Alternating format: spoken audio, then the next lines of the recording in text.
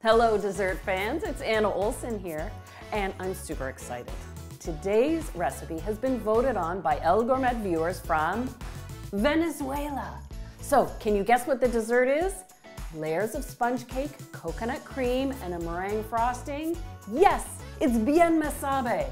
So I'm gonna jump right into it, starting with the sponge cake. The sponge cake portion is easy to make, though it does take a lot of eggs, eight.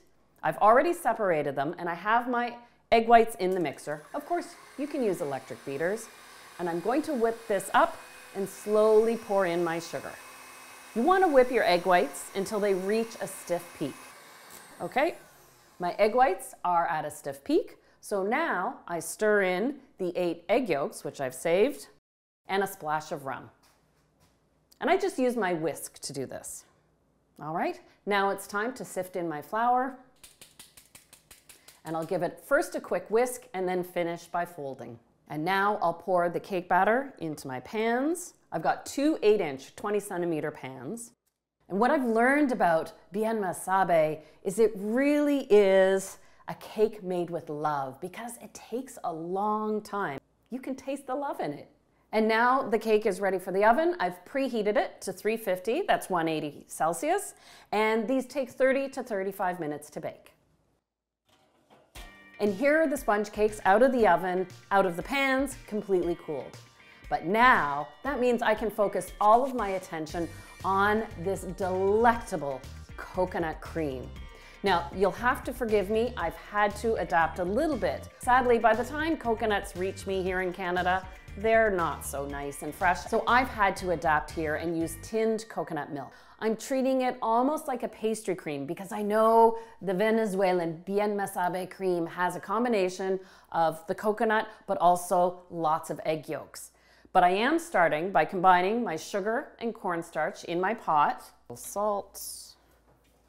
That way, when I add my milk and my coconut cream, the cornstarch will thicken the custard. And then I add my egg yolks at the very end. Bienmesabe has been around as a cake for over 400 years. It's got such a great history that gives it a lot of meaning, and I can understand why it is so treasured. Now that my custard is thickening up, I can pour some of it into my egg yolks. And now that I've warmed up the egg yolks, I can add this all back to the pot, and you only need to cook it for a minute more. And once I take this off the heat, I'll add a splash of rum, I'll let that coconut cream cool and then chill completely before we assemble the cake. All right, now it's time for the best part. It's time to assemble this beautiful coconut layer cake. I've already made a rum syrup. This is a rum simple syrup, combination of sugar, water, and then after that boils, I stir in my rum. And that'll be used to brush on top of the sponge cake. So let's get going.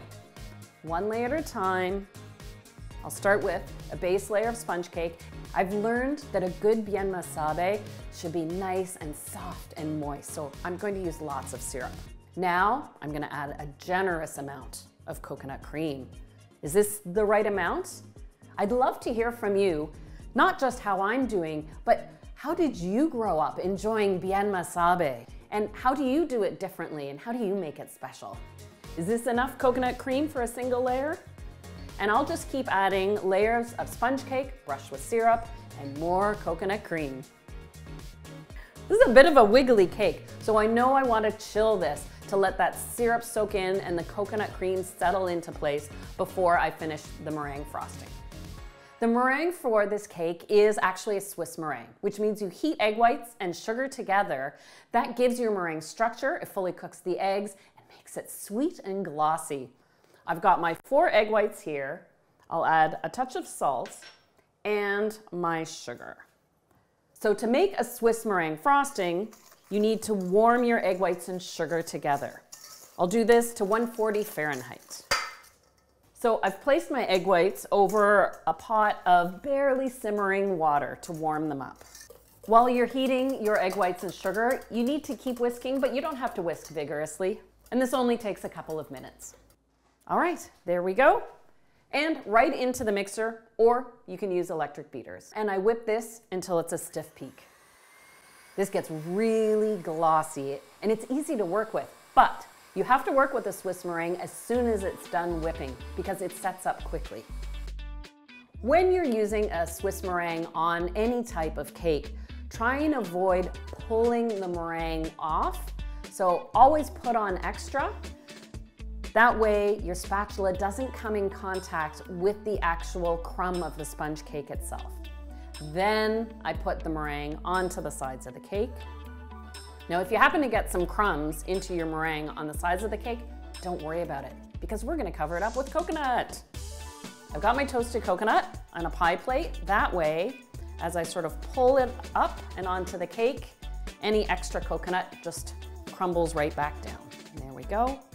And any remaining meringue can go into a piping bag if you wish. I've got a plain tip and I'm just gonna pipe a little detail on top. And there we go. Wow, this Bienmesabe really came together. I think it's absolutely beautiful, and I can imagine that fluffy meringue frosting hiding the sponge cake and all that coconut cream inside. Well, what am I waiting for? Let's give this a taste. Wow, look at all that filling. Oh, now that is a slice of cake. Look at those light, fluffy layers. Look at those sponge cake layers and all that coconut filling. Now I know why that recipe makes such a large batch of coconut cream. You want all that filling in there. That fluffy meringue frosting. Mmm. It truly is bienmesabe. I can understand why this just cures the soul. Mm. This cake truly is bienmesabe. And while I haven't visited Venezuela yet, at least I can say I've tried some of its desserts. Gracias.